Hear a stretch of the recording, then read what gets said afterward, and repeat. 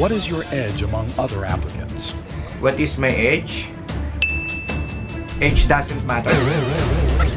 What is your pet peeve? Okay, my pet peeve. Um, I love dogs. Yes, I love dogs. I have a lot of dogs.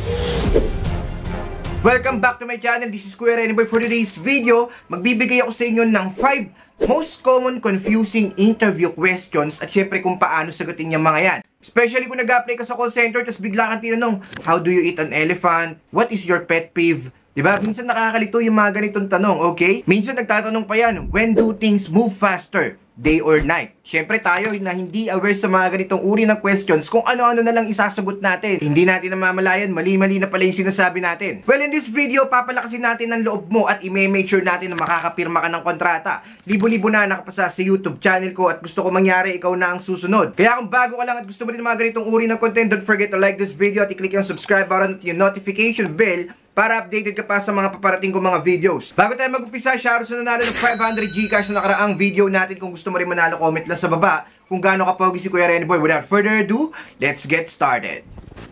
Thank you for calling. Thank you for calling customer service.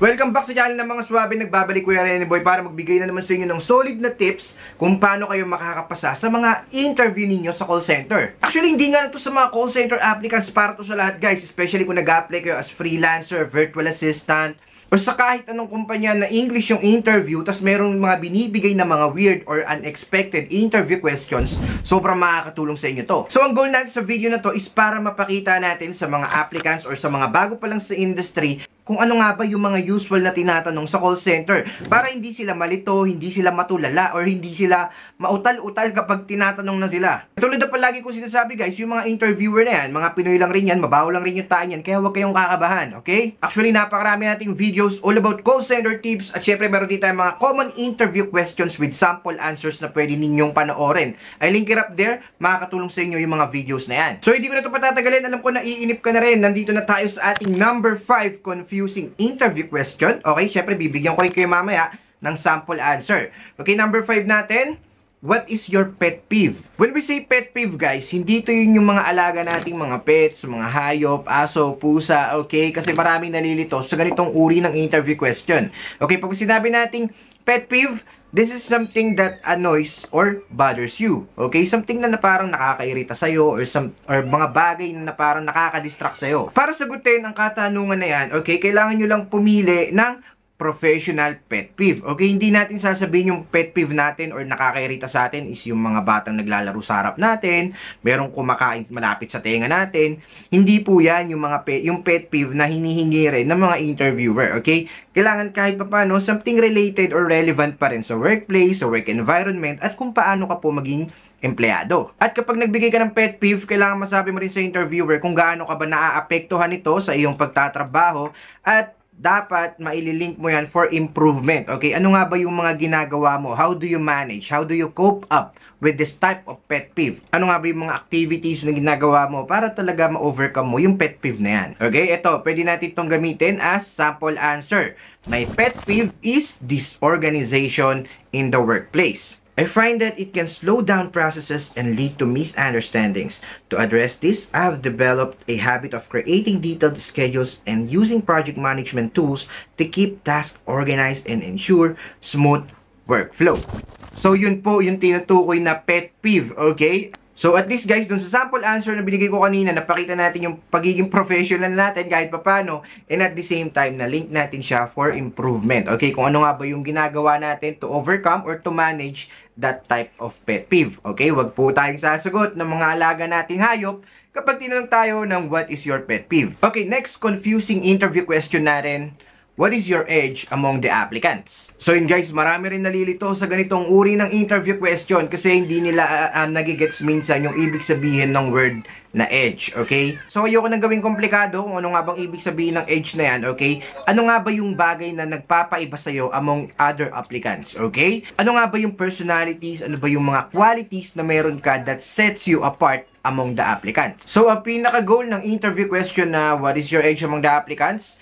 is para malaman ng interviewer kung ano nga ba yung mga qualities na makakapagpahiwalay sa'yo or makakapagpa-standout sa'yo, okay, compare sa mga ibang aplikante na nag apply Okay, hindi po ito tungkol sa edad mo. Okay, it's not about your age. I believe my age among the applicants is my unique combination of skills, experience, and a genuine passion for being a call center agent. My background has equipped me with relevant skills and of course the qualifications that you need here for the position. What sets me apart is my commitment to continuous learning and adaptability, allowing me to embrace new challenges and contribute effectively to your team. So, yun yung sample answer natin para sa tanong na what is your age among the applicants, okay? Meron lang tatlong magic word dyan, guys, na talagang gustong-gustong naririnig ng mga applicant, okay? Number one, commitment to continuous learning. Number two, commitment in embracing new challenges. And then, lastly, commitment with a good attendance. Yan tatlo na yun guys, yan po yung mga gustong-gustong naririnig ng mga interviewers. So since napanood mo to, napakaswerte mo na naman, okay? So third confusing interview question tayo. How do you eat an elephant? Alam ko marami sa inyo napapaisip, paano nga ba sagutin? Ang ganitong uri ng interview question, kahit ako nung una ko narinig to, parang ang hirap naman sagutin, okay? Kasi most likely, mapapaisip tayo, syempre yung typical na sagutan dyan kadalasan sinasabi ng mga applicant, um, one at a time, subo ng konti, hanggang maubos mo ng ilang araw, okay?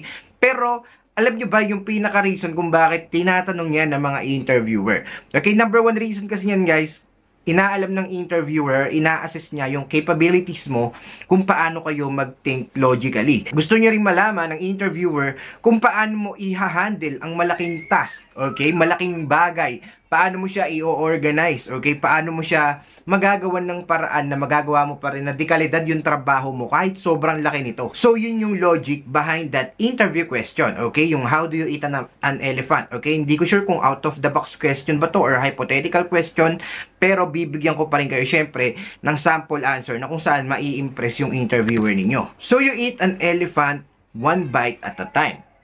Similarly, when faced with a large or complex task, I approach it by breaking it down into smaller, manageable steps. This not only helps in maintaining focus but also allows for a systematic and efficient completion of the overall objective. By tackling each bite-sized portion with attention and dedication, I ensure a thorough and successful outcome. So, yun yung sample answer natin. Kung napansin ninyo, kailangan ng sistematikong sagot para may, may deliver mo na maganda yung sagot mo sa ganitong uri ng interview question. Yung iba pang sumasagot dito, alam ko, nag-organize pa sila ng tao, kukuha sila ng ibang team na mag-handle ng mga parts, yung ibang team na mag-aasikaso, magbo-boil, okay, magpapalambot para mas ma-manage yung elepante ng maayos, and then magsiset pa sila ng calendar or ng dates kung kailan uubusin yung ganitong portion, kung kailan i-distribute yung ganitong parts. So, yan po ang pagsagot sa ganyang uri ng interview question. Inaalam lang talaga ng interviewer kung paano ba tayo maging systematic. Okay, kung paano ba tayo magbigay ng magandang procedure, kung paano tayo mag-organize ng mga bagay-bagay kahit sobrang laki ng project or ng task na binibigay sa atin. Confusing interview question tayo guys. When things move faster, day or night. So medyo nakakalito rin yung tanong na to, no? So hindi natin alam kung sasagutin lang ba natin ng simple, okay, yung tanong na yan, kung mamimili lang ba tayo kung day nga ba or night, okay? So basically, kapag wala tayong idea sa ganitong interview question, baka mamaya mapakamot ulo na lang talaga tayo, di ba?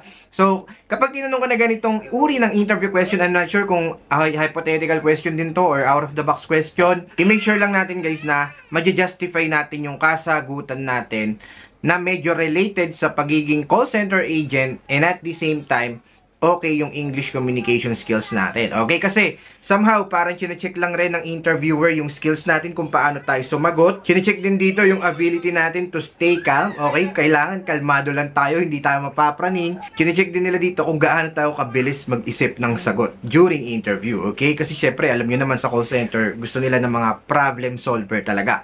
Okay, minsan yung mga sagot ng mga applicants dito medyo scientific eh, medyo meron pa mga gravity kasi daw pag gabi mas malaki malapit yung moon, so mas mabagal yung galaw ng mga tao. Yung iba naman, day, may, may sarili ring silang kasagutan kung bakit napili nila yung araw. Pero guys, pwede nyo gamitin yung sagot na to, okay? Magbibigay ako sa inyo ng sample answer. Okay, the speed of time remains constant, okay? It doesn't change, regardless of whether it is day or night. However, people's perception of time passing may vary based on individual routines, activities, and external factors, okay? Some may feel that time moves faster during busy or engaging periods, while others might experience a quicker pace during specific times of the day. Okay, ano nga bang ibig sabihin ng sample answer na yan ni Kuya Rene Boy? Okay, parang kapag sinasabi dito, di ba, pansin nyo naman, kapag tayo, busy tayo, may ginagawa tayo, hindi natin namamalayan yung oras. So, meaning to say, kapag busy ka or kapag abala ka sa isang bagay, mas mabilis yung oras. Okay? Halimbawa, nagtatrabaho ka sa fast food, di ba? Galaw ka ng galaw, hindi mo namamalayan, ang bilis ng oras mo, maya-maya out mo na. Pero kapag wala kang ginagawa, napakabagal ng oras. So, ito yung pinaka the best answer dyan sa tanong na yan kasi medyo somehow re- related to sa productivity mo. Okay, bilang isang empleyado. Okay, napapakita dito na mas gugustuhin mo pa maging busy para mas hindi mo mamalayan yung oras kaysa sa wala kang masyadong ginagawa ang tendency nun, yun yung ikakabagal ng oras, okay? Pero disclaimer guys, sa mga ganitong uri ng tanong, yung mga hypothetical or yung mga out of the box question, wala naman tama at maling sagot. Meron lang talaga silang ina-assess sa inyo na gusto nilang malaman kung talaga bang qualified ka para sa trabaho na ina-apply mo. Last but not the least, why should we not hire you. Okay, marami kasi nalilito sa ganitong uri ng interview question kasi biruin mo ba naman naghanda ako Kuya Rene Boy. Ang pinaghandaan kong tanong, why should we hire you? Tapos pagdating ko sa interview, ang tinanong sa akin, why should we not hire you? Di ba nakakapraning Kuya Rene Boy? Paano nga ba sagutin yung ganyang uri ng katanungan? So isipin nyo lang guys, babalik ta nyo lang yung sagot nyo sa why should we hire you, okay? So napakasimple lang sagutin ng ganitong uri ng question guys, okay? Wag basta wag lang kayong kakabahan, wag kayong matataranta, okay? Kasi yun nga, chinecheck ng interviewer yung ability natin to stay calm, okay? Wag natin ipapahalata na kabado tayo kasi magiging factor din yan na mauutal-utal ka, magkakaroon ka ng communication breakdown, alam mo yun, mga mahabang poses, hindi ka nagsasalita, talagang litong-lito ka na, yung parang gusto mo na lang umuwi. Okay, fake it until you make it guys, totoo yan. At sana makatulong sa inyo yung mga sample answers natin ngayong araw. So ganito lang yan guys, para malusutan nyo yung interview question na to. Pwede yung sabihin or gamitin yung sample answer na to. I am a dedicated person and I have the genuine passion on becoming a call center agent. If you are not looking for a multitasking, energetic, and detail-oriented person, then you should not hire me. So, yun yung pinaka-pattern na susundan lang natin guys. Kapag tinanong tayo ng interview question na why should we not hire you, lagi nyo lang uumpisahan sa phrase na if you are not looking for, tapos sasabihin niyo yung mga positive traits, uh, mga personalities, okay, mga qualities na meron kayo. And then sa dulo, then you should not hire me. Okay? So, ganun lang siya kadaling sagutin guys. Ayun yung logic sa tanong na why should we not hire you. So that's it for today's video guys. Sana may natutunan ulit kayo sa video ni Kuya Randy Boy sa lahat ng mga merong request or meron kayong interview question na parang nahihirapan kayo. Comment down sa baba. Bibigyan ko kayo ng sample answer sa next video ko. And by the way guys, comment rin pala kayo sa baba kung anong gusto nyong call center company ang a-apply natin sa next upload ko kasi pupunta ulit ako sa mga call center companies para bumisita at syempre mag-apply ulit si Kuya Randy Boy. Before I end this video, shoutout and congratulations sa lahat ng graduates sa ating Bold Minds Academy Batch 29. Sa lahat ng mga gustong humabol sa ating next batch, comment lang sa baba ng hashtag scholar at i-PM nyo ako sa aking Facebook page, Kuya Renny Boy Official, para makasali ka na rin sa aming one-month call center training na kung saan libo-libo na ang nakapasa at na-heard na rin sa call center. Marami kayong matututunan guys, online lang yan, kaya kahit cellphone at data lang, pwedeng pwede kang matuto. Marami na kami napauwing mga OFWs, mga single mom na natulungan at syempre, kahit anong religion mo, welcome na welcome. Kaya ano pang inaantay nyo guys, mag-enroll na kayo. I-PM nyo na ako sa Facebook page ko. Dahil marami kayong matututunan dyan. May mga mock call, mock interview, may mga interview questions with sample answers at talagang aalalahan kayo ng mga coaches natin. Kaya ano pang inaantay nyo guys, don't waste your time sa mga bagay na hindi makakatulong for your career growth at syempre for your self-development. Kaya mag-enroll na kayo sa Bowmines Academy. Shoutout sa lahat na nagpap-shoutout dyan. God bless us all.